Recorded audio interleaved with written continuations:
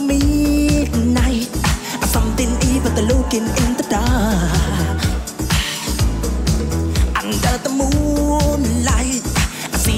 Sight that almost stopped your heart. You try to scream, but that'll take a sign before you make it. You start to freeze as horror look you right between the eye. You better lie. That did the thriller,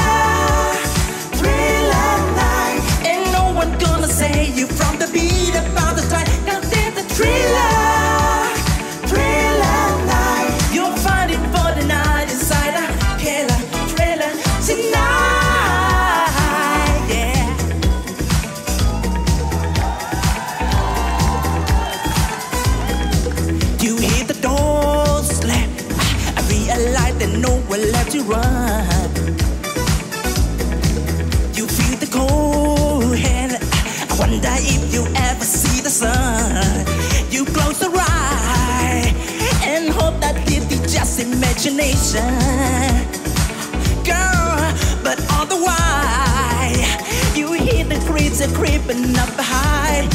You're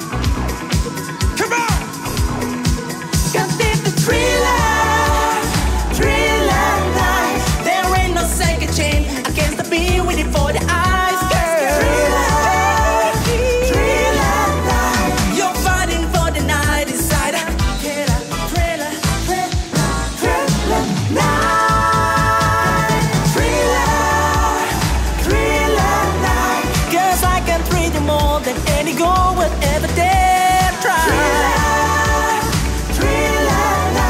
So let me hold you tight inside a killer thriller.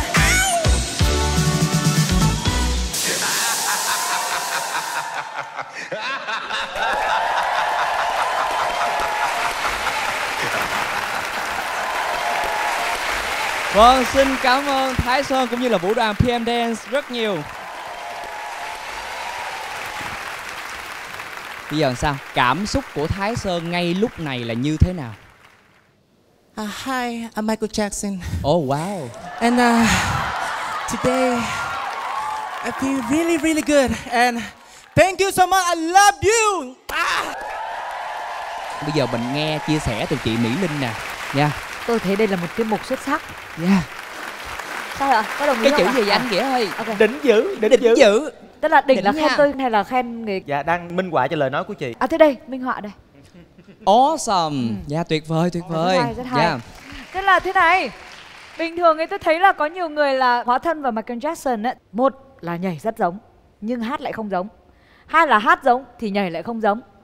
Nhưng mà đây là được cả hai. Xong lại còn boa thêm khán giả cái đoạn lại chào chào cuối nữa cũng giống nốt nữa. Thì đây là tiết mục dạ. Tốt. đỉnh dữ. Đấn dữ. Dạ đúng rồi. Đó là nhận xét từ ờ, chị mỹ linh. Còn ờ, anh anh quân thì như thế nào ạ? Thực ra cái người này người ta là ông vua của nhạc pop Vâng. ông ấy thay đổi bộ mặt pop của thế giới. Và để mà hóa thân thành ông ấy thì vô cùng khó. Nhưng mà khi bạn ấy mới bước vào và chỉ độ vài giây thì tôi đã rất là yên tâm là bạn đã làm được cái chuyện đấy rất là tốt. Và đây là cái điều rất là ngạc nhiên đối với tôi đấy. Cả chúc mừng em chúc mừng em nhưng mà anh nghĩ là hai cơn trắng hơn em một tí. Em hơi đen quá. Dạ nãy em có nói đến quân đã đồ là phải đồ cái đậm hơn chút xíu. Sợ người ta dòm với linh không thấy mình đen. Dạ đó là những cái chia sẻ từ ờ, anh anh quân cũng như là chị mỹ linh. Còn không biết là anh đại nghĩ như thế nào ngoài hai cái chữ đỉnh dữ? Bây giờ anh đang rất thắc mắc không biết cái gương mặt thật của em khi mà à, bỏ cái lớp hóa trang này ra thì sẽ là một chàng trai như thế nào đẹp trai ra làm sao. Nhưng mà em đã đầu tư đã hóa thân cho giống với nhân vật từ cái ngoại hình cái ờ, gương mặt. Mặc dù có hơi đen chút xíu, nhưng mà không sao, cái đó chỉ là một cái phần nhỏ thôi. Rồi cái trang phục, cái quần áo như thế nào đó, rồi đôi giày. Và đặc biệt nhất là cái phong cách trình diễn của em, nó cuốn hút ngay từ khi em bắt đầu, em đứng trong cái lòng đó mà chưa hát gì. Và nhất là cái giọng hát của em. Nếu nhanh nhắm mắt, anh cũng có thể thấy đến 80 90 phần trăm là giống ông hoàng nhạc pop Michael Jackson và hôm nay rõ ràng rằng em đã thật sự thuyết phục các vị giám khảo bằng chính cái phần trình diễn của em trong cái bài quá nổi tiếng này chúc mừng em Wow. Quá tuyệt vời đúng không anh Nghĩa? Đêm ngày hôm nay là chủ đề về tình yêu Nhưng mà tại sao bạn Thái Sơn của chúng ta chọn cái ca khúc này để biểu diễn? À, em xin chào tất cả ban giám khảo và tất cả mọi người. Thì thực ra Michael là thần tượng mà bởi vì xem Michael em mới bước vào À, nghệ thuật. có nghĩa Và tình là yêu của em Dành là cho tình thần yêu tượng. dần cho thành tượng của Dạ, em. Dạ. rất tuyệt vời và một lần nữa xin chúc mừng Thái Sơn. Xin mời bạn về chỗ.